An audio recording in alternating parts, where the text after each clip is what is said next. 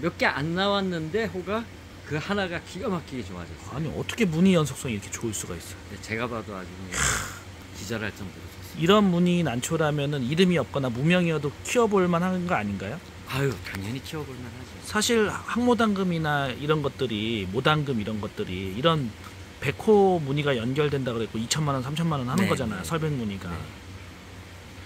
한국 난초 중에서도 이렇게 백, 이렇게 무늬가 섬세하고 연속성이 좋은 게 거의 없는 것 같은데요. 잘 없습니다. 예. 이제 삼방 계열은 있을 수 있는데 그러니까 어, 이렇게 경계가, 예, 어. 호 개체들은 네. 정말 이렇게 참빗살 제가 참빗살이라 그러잖아요. 그렇죠. 참빗살 항상 제 꿈이 참빗살이 고정되는 날. 아. 그리고 정말 옆태도 좋은 날. 어. 이제 고기까지만 해보고 싶어요. 이거 천월. 야, 이것도 대단합니다. 난초가. 천월도 복륜이지만 네, 끝이 참빗살이 동글동글한 게. 잘 들어가 있는 아, 섬세하게 호복륜인가요? 네, 상당히 어, 수려한 난이에요. 오. 그냥 명품으로서의 조건을 다 갖춘 것 같습니다. 네, 갖추고 있어요. 굉장합니다. 네, 웅장하고 네. 뭐 사이즈도 어, 음. 횡광 최대한 키우는 사이즈. 행강 복륜 같네요. 네네. 진짜. 그 정도기 때문에 아직 행강 복륜이 안 나왔는데 네. 행강 복륜을 능가하는. 네. 아, 근데 계속 눈길을 끄는 건 역시 이거. 네. 아, 저도 이런 성향인 것 같아요. 음? 참빗살 성향. 그것도 네. 설백이어야 돼. 네, 저하고 성향이 네. 같아서 제가 네네. 곤란합니다. 아, 포트폴리오가 겹쳐. 네. 네, 포트폴리오가 겹쳐요. 어, 그리고 또 이런 것도 좋아해요. 네. 짝광 색깔만 네, 네. 조금만 더 산뜻했으면 네, 좋았을 네, 것 네. 같아. 뭐 가을이라 그렇고. 아. 네.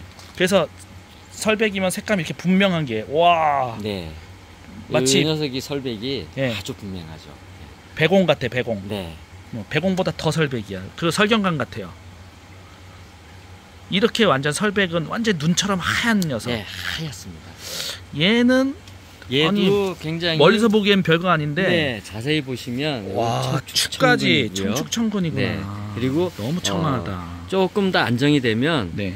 얘만큼 화려해집니다. 아, 좀더 크면. 네, 네, 네. 지금 벌써 이제 서서히 화려해지기 시작하지 네, 않습니까? 네. 요게 얘, 얘는 화려해지면 화려한 외출을 한번 해야 될 것 같습니다. 네. 여기 이제 어, 지금 보시면 이렇게 다 화려하거든요. 그러다가 탄력이 붙으면서 일시적으로 무늬가 조금 옅어지는 거예요. 음. 그러면서 다시 안정이 되면 이렇게 화려해져요. 청축청근이잖아요 지금. 네, 청축청근입니다. 청축청근의 설백복륜인 난초가 뭐가 있더라? 서시 있고요. 아. 네, 그리고 천명 있고. 아, 네. 확실히 그쪽 계열이 너무 난초들. 맑고 깔끔해. 네, 네. 예, 명품의 그런 기준이 되는 것 네. 같습니다. 얘는 아주 색감은 좋은데 축이 약간 단점이 예, 약간 얘는 좀 소두반 어. 현상이 강해요. 네. 그래서 어떻게 보면 이게 약간 지저분해 보일 수 예, 있으니까. 오게 티가 될 수 있어요. 그렇지. 그러니까 언뜻 보면 정말 산뜻하고 좋은데.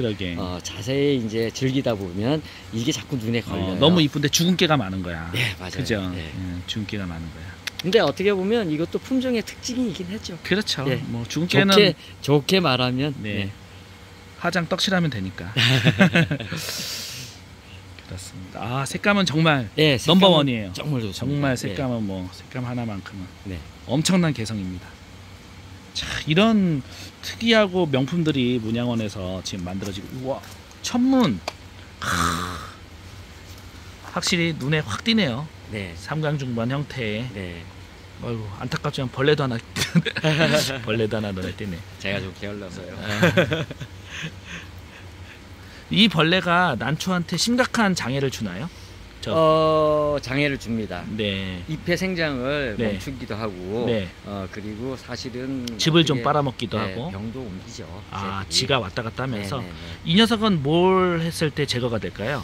네. 얘네들이 어, 요거 전용 깍지벌레 전용 살충제가 따로 있어요. 깍지벌레 전용 살충벌레. 예, 예. 이 녀석을 적어도 2, 3회 정도 뿌려 주셔야 음. 네, 박멸이 돼요. 네. 그거 혹시 상품명을 알 수 있을까요? 상품명은 여러 가지 있습니다. 네. 여러 가지 있고 제가 요 최근에 어, 효과 좋은 거. 효과 좋은 걸 써보니까 뭐 깍잡아라고 깍잡아. 네, 깍지를 꽉 잡는다고 해서 아, 깍잡아라는 이름으로 나오더라고요. 네, 아, 그 상품이 있나요? 네, 네, 아, 네. 알겠어요. 우리 이거 뭐 광고 광고 방송 아니고요. 네? 광고 방송 깍잡아, 깍지를 예, 잡는 예, 깍잡아. 난초에는 해가 없나요?